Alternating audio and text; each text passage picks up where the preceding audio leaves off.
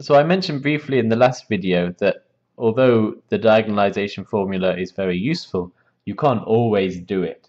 In other words, not all matrices can be diagonalized in the way I described. And the critical point was that in order to derive the diagonalization formula, we needed to assume that the matrix has as many eigenvectors as the dimension of the space. So an n by n matrix should have n eigenvectors. And this is not always true. So here's a simple example where it's not true. The matrix A, which is 5 minus 3, 3 minus 1. Let's try and calculate the eigenvalues and the eigenvectors of this matrix. Okay. The eigenvalues. So this means solving det A minus lambda I equals 0.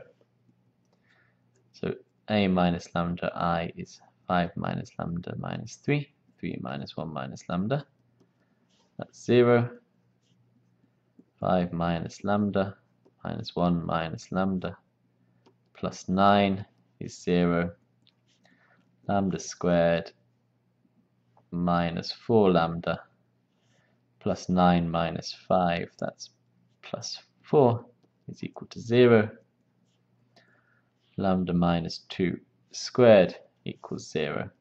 So you see, first of all, you only have one eigenvalue, which is lambda 1 equals 2.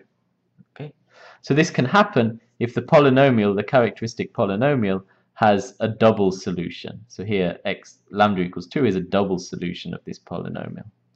So in this case you can have less eigenvalues than than n.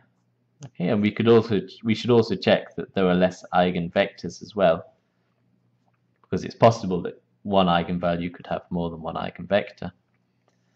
So we need to solve a minus lambda i times v equals 0 so put lambda equals 2 into this equation, you get 3 minus 3, 3 minus 3, xy equals 0, 0.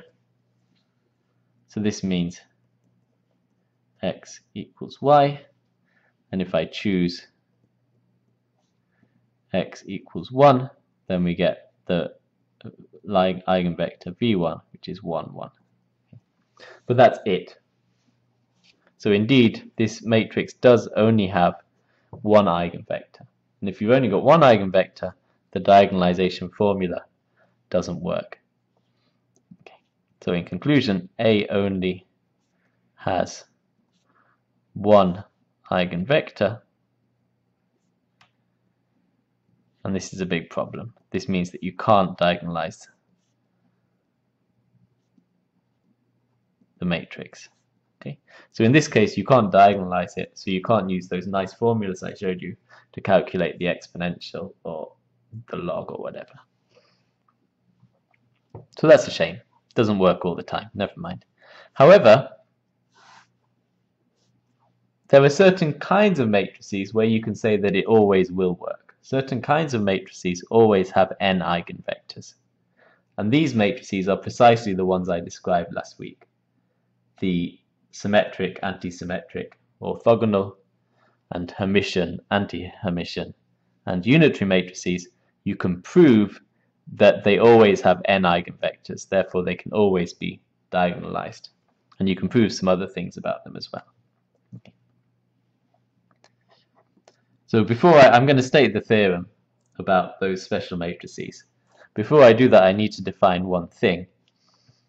Um, so for real vectors v and w, we define the dot product v dot w. This is, so if I say the vector is v1, v2, up to vn, if it's an n-dimensional vector, w1, w2, up to wn. This is defined as the sum i goes from 1 to n of vi, wi. So this is the definition we saw in the, the lecture on vectors a few weeks ago. Right?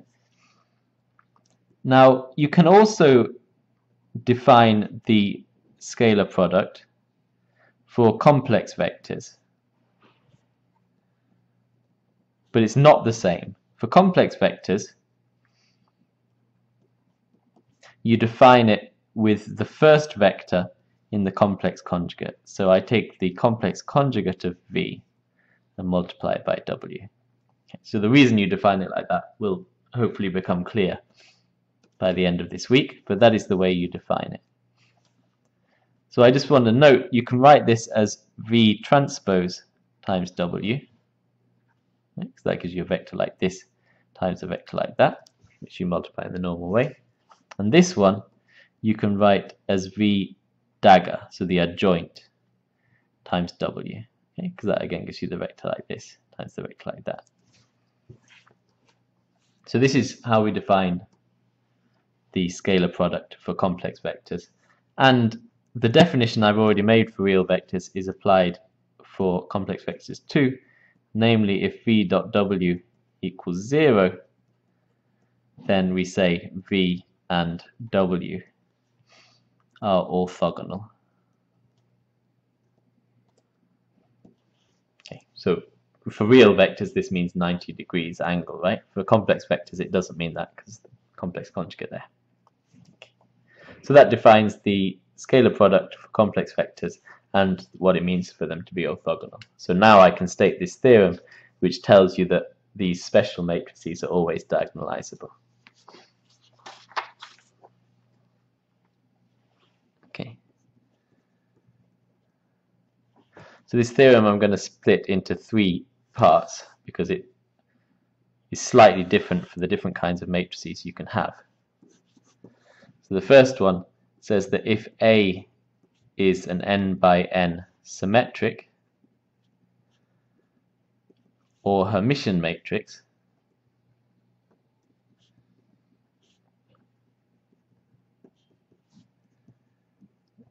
okay, so look up those definitions if you don't remember them. If I have a matrix like this, then three things. The first part says that you always have n eigenvectors.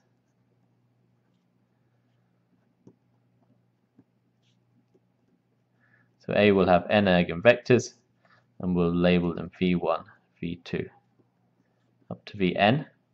Now this is a very important result because as I said if you have n eigenvectors then you can diagonalize.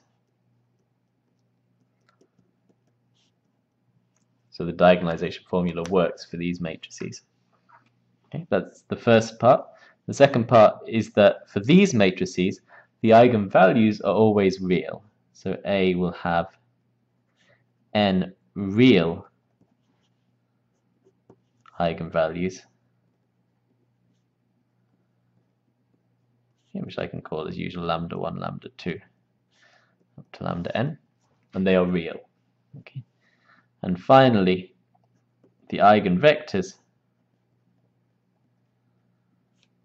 are all orthogonal. So this means that vi dot vj is equal to 0 if i is not equal to j. So for real vectors, this means they're all at 90 degrees to each other. Okay, But it also applies for the case where the eigenvectors are complex as well. So that's the statement of the theorem. I will prove this theorem in the final video this week. Um, before I do that, I just want to complete it for the other kinds of matrix you can have.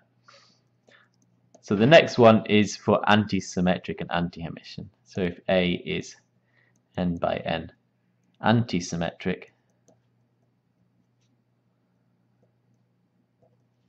or anti-Hermitian,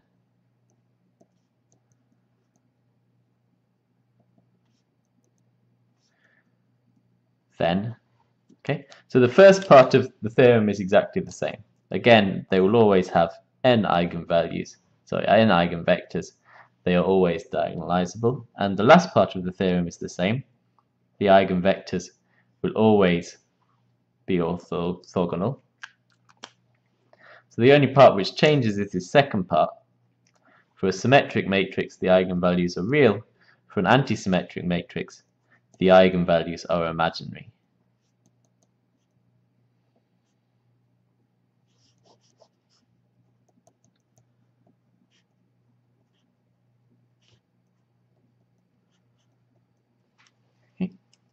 But again, importantly, you can always diagonalize. And the last version of the theorem is for orthogonal or unitary. Then and again the first part and the last part of the theorem are the same. It has n eigenvectors. You can always diagonalize. The eigenvectors are orthogonal. But in this case the matrix A has n eigenvalues with size 1. So lambda i equals 1. Okay, so these can be complex. So this means that you can always write lambda i is equal, okay, so lambda j, let's say. Lambda j is equal to e to the i times theta j for some angle theta. And this is true of all of the eigenvalues. They all have unit length. So that's the theorem, as I said, I'll prove it in the last video. This one, though, I just want to say we've already seen an example of this when we looked at the rotation matrix. That's an example of an orthogonal matrix. There we found that the eigenvalues were lambda plus minus, which were e to the plus or minus i theta. Okay, so exactly as stated here. They have length 1, they are complex numbers with length 1. And also, you found that v plus was i1, v minus was 1i, and then we can check this part of the theorem as well, that they're orthogonal. So v plus dot v minus, this is equal to, remember, v plus dagger. So you take the complex conjugate as well, times v minus. So this is minus i1, that's v plus dagger, times 1i which is minus i plus i, which indeed is 0. Okay, so as claimed, the vectors are orthogonal. Right, so that's a simple example of this theorem, and as I said, next I'm going to prove it.